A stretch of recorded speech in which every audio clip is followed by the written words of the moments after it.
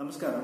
നമ്മൾ different types of research ആണ് പറഞ്ഞുകൊണ്ടിരിക്കുന്നത്. The third one is fundamental research fundamental research എന്നതിന് ഇക്വലന്റ് ആയിട്ടുള്ള മറ്റ് രണ്ട് പേരുകൾ കൂടിയുണ്ട്. പ്യോർ റിസർച്ച് അല്ലെങ്കിൽ ബേസിക് റിസർച്ച് ഇങ്ങനെ രണ്ട് പേരുകളിൽ ഈ ഫണ്ടമെന്റൽ റിസർച്ച് അറിയപ്പെടും. ഇത് മറന്നു പോകരുത്. Don't forget that pure research the fundamental research is also known as pure research or basic research ഇതിൽ പലപ്പോഴും ഒബ്സർവേഷൻ ബേസ്ഡ് ആയിട്ടുള്ള ഫൈൻഡിങ്സ് ആണ് കാണാൻ സാധിക്കുക based on observation what is fundamental research that means In this type of research, experimental or theoretical works mainly performed to obtain new knowledge on the basis of observable phenomena or facts without prior consideration.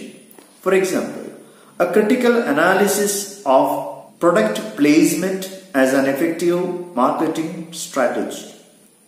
അപ്പോൾ fundamental research എന്നതിൽ നമുക്ക് കാണാൻ സാധിക്കുന്നത് ഒബ്സർവേഷന് കൂടുതൽ പ്രാധാന്യം നൽകുന്ന വിധത്തിലുള്ള findings ആയിരിക്കും എന്നതാണ് ഒരു പ്രത്യേക പ്രൊഡക്റ്റിനെ ബേസ് ചെയ്തുകൊണ്ടുള്ള ഒരു ക്രിട്ടിക്കൽ അനാലിസിസ് അത് ഒബ്സർവേഷനെ ബേസ് ചെയ്തുകൊണ്ട് നടത്താവുന്നതാണ്. അല്ലെങ്കിൽ ഒരു പ്രൊഡക്റ്റ് നേരത്തെ പറഞ്ഞതുപോലെ ഒരു പ്രൊഡക്റ്റിന്റെ പ്ലേസ്മെന്റിന് എന്ത് തരത്തിലുള്ള സ്ട്രാറ്റജിയാണ് അവിടെ അപ്ലൈ ചെയ്യാൻ സാധിക്കുക എന്നത് ഒബ്സർവേഷനിലൂടെയാണ് കണ്ടെത്താൻ സാധിക്കുക.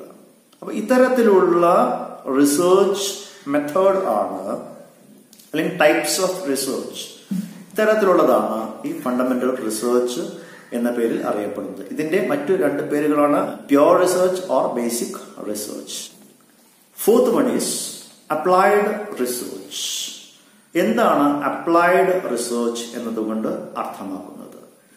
Applied research is used to find solutions to everyday problems cure illness and develop innovative technologies etc. It is a method used to solve a specific practical issue affecting an individual or group.